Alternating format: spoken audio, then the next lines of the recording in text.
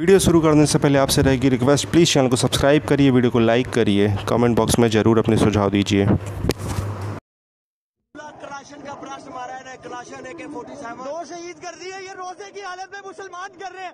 इन हुक्मरानों के गलों में फ्रांस के पट्टे हैं पट्टे।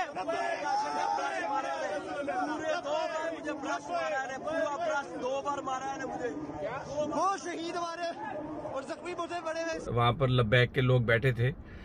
गोलियाँ चली हैं, वहाँ पर और बड़ा इस वक्त सख्ती का आलम है। बे इंतहा लोग जख्मी हो चुके हैं, और तीन जो है, मैंने देखा है, तीन कन्फर्म है वहाँ पर जो लब्बैक के, जो तीन कारकुन अल्लाह को प्यारे हुए। वहाँ पर कुछ ऐसे लोग भी हैं जो एक बच्चा जेल में है, एक बच्चा वहाँ पर अल्लाह को प्यारा हो गया और वो ये कह रहे हैं कि वाल साहब कह रहे हैं कि मैं खुद भी यहीं पर अपनी जान दूँगा। फायरिंग का सिलसिला जारी रहा, लेकिन अभी थोड़ी देर पहले थमा है। नहीं अभी खाली कराई जा सकी मस्जिद रहमतुल्लाह आलमीन और उसका जो इर्द गिर्द का इलाका है। लब्बैक के लोग वहाँ पर डटे हुए हैं।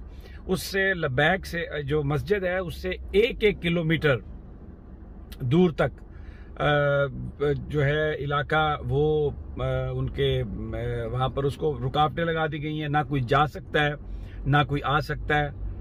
और इस वक्त एक भरपूर ऑपरेशन है। मुख्तलिफ़ चैनल्स को टेलीफोन कर रहे हैं। लबैक के लोग एम्बुलेंसेस भी मांग रहे हैं, लेकिन मैं आपको बताऊँ, मैं वो फुटेजेस आपको दिखा नहीं सकता। गोलियाँ लगी हुई हैं, खून बह रहा है, लेकिन या रसूल अल्लाह के नारे लगाए जा रहे हैं। और लोग अपनी लोग अपनी जाने, वहाँ पर वो कह रहे हैं कि हम निछावर करने के लिए आए हैं। मैंने एक वीडियो में देखा, एक बच्चे ने बहुत सारी गोलियों के खोल जो थे, वो उसने उठाए हुए थे और उसने कहा कि ये वो गोलियों के खोल हैं, जो नामूस रिसालत के जो दीवाने हैं या जो मुहाफ़ हैं, उन पर यह गोलियाँ चलाई गई। सिर्फ़ एक गैर मुल्की ताकत को खुश करने के लिए तो उनके साथ में वो कह रहा था कि ये चाहे वो वज़ीर अजम हों, चाहे वो शेख रशीद साहब हों, या कोई और कोई शख्सियत हो, उनके गलों में इस वक्त जो है वो पट्टा मगरब का बंधा हुआ है, और वो बिल्कुल एक जानवर की तरह उनकी इतात कर रहे हैं।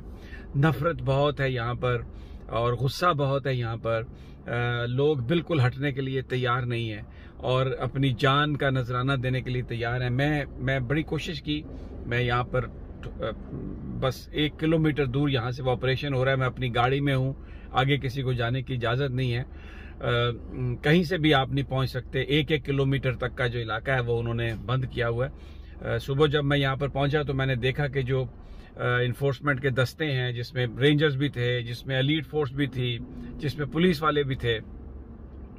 उस उनके मैंने देखा कि वो दस्ते जो हैं वो इधर मूव कर रहे थे। और अब सूरत हाल वहाँ पर बताया जा रहा है बड़ी गंभीर है सूरत हाल ठीक नहीं है। और ये आ, मैं समझता हूँ कि ये फ़र्ज़ बनता है पाकिस्तानी मीडिया का इस बात को हाईलाइट करें कि अगर वो 126 दिन इमरान खान भी तो बैठे रहे ना पार्लियामेंट के सामने। और मौलाना फजल रहमान भी तो वहाँ पर बैठे रहे, कई कितना अरसा। तो किसी ने उनको नहीं उठाया फोर्स से। तो इनको क्यों उठाते हैं इस तरीके से कि आप गोलियाँ मार रहे हैं बच्चों को, मासूमों को, आप उनको मैं कहता हूँ आप उनको शहीद कर रहे हैं, शहीद कर रहे हैं आप उनको। और ये अननेसेसरी, ये ताकत के नशे में जो कर रहे हैं, ये ठीक नहीं है। ये ये मीडिया का काम है कि वो इसको हाईलाइट करे। मैं मैं अपील करता हूँ तमाम बड़े बड़े एंकरों से, खुदा के लिए, ये ये दहशतगर्द लोग नहीं है। इनके हाथों में कोई गने नहीं है। ये किसी जगह पर कब्जा नहीं करना चाह रहे। ये पीसफुल लोग थे, यकीन करें आप। ये एक साजिश के तहत किया गया कि उनको सीधी गोलियाँ मार के पहले दिन एहतजाज के उन्हें मुश्तिल किया गया, फिर उनकी वीडियोस बनाई, झूठी वीडियो सच्ची वीडियो सब कुछ इसमें शामिल है, लेकिन अभी इस वक्त जो ऑपरेशन हो रहा है, इसकी कोई जस्टिफिकेशन नहीं है। वो किसी जगह पर कब्जा नहीं करने आ रहे थे, वो वहीं पर अपनी जगह पर बैठे थे। बैठे रहते, अभी क्या दो चार दिन और भी बैठे रहते तो क्या था? ये जो खाली कराने की कोशिश है, खुदा के लिए इसको रोकें। ये बड़ा खून बह जाएगा। ये बहुत, मैं कहता हूँ, ये बहुत बड़ा ये डिवाइड हो जाएगी इस कौम में। ये वो वो बच्चे जो हैं, वो नामूस रिसालत की बात कर रहे हैं। वो काला काला या रसूल अल्लाह पुकार रहे हैं।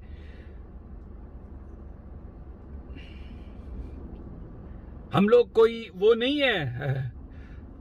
यानी अगर वो दहशतगर्द होते, मैं अपनी आँखों से देख के आया हूँ। मैं माफ़ी चाहता हूँ, मैं कुछ इंसान हूँ, मैंने देखा है तो मैं, मेरे जज्बात जो हैं, वो थोड़ा, वो काबू में नहीं है। लेकिन मैं ये कहना चाहता हूँ कि ये जुल्म है। बिल्कुल, मासूम ने हत्ते उनके पास कोई असला नहीं है यार। आप उनको गोलियाँ मार रहे हैं। पाकिस्तान के वो शहरी हैं। क्या हो गया जो वो बैठे हैं वहाँ पर? नहीं करें ऐसा। बिल्कुल ना करें ऐसा। ये जुल्म है। बहुत बड़ा जुल्म है ये। अगर कोई सामने से ग्रुप होता, जिसके पास असला होता, वो आप पर फायरिंग करता तो हम कहते, वो तो कुछ भी नहीं है। वो सिर्फ़ बैठे हैं वहाँ पर। तो बस मैं ये कहना चाह रहा था, बाकी हर बंदे का अपना जमीर है। मैं हुकूमत से ये कहता हूँ कि वो ये कार्रवाई बंद कर दें। मैं उनसे भी कहता हूँ लबैक से भी। तो गाइज़ ये वीडियो यहाँ पर होता है ख़त्म। आप यहाँ से ये वीडियो छोड़कर जा सकते हैं। दोस्तों, आपको बता दूँ, पाकिस्तान में हालात बेकाबू हो चुके हैं। अगर आपको पाकिस्तान के हालात देखने हैं तो पाकिस्तान में जाइए। ट्विटर अगर आप ट्विटर पर हैं या किसी भी सोशल मीडिया प्लेटफॉर्म पर हैं फेसबुक ट्विटर पर ट्विटर पर हैं तो बहुत आसानी से आपको देखने मिल जाएगा। ट्विटर में जाइए, पाकिस्तान का ट्रेंडिंग सेक्शन देखिए, वहाँ पर देख सकते हैं आप वीडियो पड़े हैं। ये वीडियो यूट्यूब या पाकिस्तानी मीडिया के द्वारा कवर नहीं किए जाएँगे, क्योंकि हालात बेकाबू हो चुके हैं, हालात बहुत ख़राब हो चुके हैं और सिचुएशन इतनी ज़्यादा ख़राब है पाकिस्तान की फ़ौज सिक्योरिटी फोर्सेस जो वहाँ पर प्रोटेस्ट कर रहे हैं लोग, उनके खिलाफ बेधड़ाधड़ एक्शन ले रही है और ये एक्शन इतने ख़तरनाक हैं कि वो वीडियो यूट्यूब पर अपलोड ही नहीं किए जा सकते। आपको बता दूँ कि कुछ लोग तो वहाँ पर कुरान और रोज़ा रोज़ा भी रखे हुए हैं। आपको पता है रमज़ान महीना चल रहा है, वहाँ पर रोज़ा रखे हुए उनके ऊपर तक पाकिस्तानी फ़ौज ने गोलीबारी कर दी है मतलब आप समझ सकते हो। तो पाकिस्तान में ये मेन जो अभी आंदोलन का गढ़ बना हुआ है, वो लाहौर बना हुआ है। और लाहौर आपको पता है, पाकिस्तान में सबसे बड़े शहर में से एक है और वहाँ सिचुएशन सबसे ज़्यादा ख़राब है।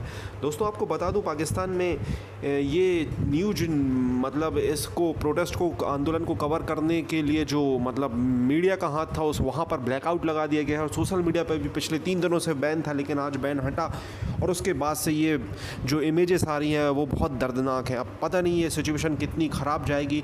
और लोग इमरान खान से काफ़ी ज़्यादा नाराज़ हो चुके हैं। इमरान खान को ही मतलब अब लोग ऐसा समझ रहे कि इमरान खान ही मतलब गुस्ताख रसूल है। तो देखते हैं आगे सिचुएशन क्या बनती है और इस सिचुएशन में जो भी लेटेस्ट अपडेट आएगी आपको इसी चैनल पर मिलेगी। आपसे रिक्वेस्ट रहेगी प्लीज़ चैनल को सब्सक्राइब करिए वीडियो को लाइक करिए। कॉमेंट बॉक्स में अपने सुझाव ज़रूर दीजिए। और दोस्तों, अगर आपको इस न्यूज़ को तरीके से फॉलो करना है। मतलब जो प्रोटेस्ट जो हो रहे हैं, वो तरीके से देखने हैं तो इसके लिए आपको सोशल मीडिया का ही सहारा लेना पड़ेगा।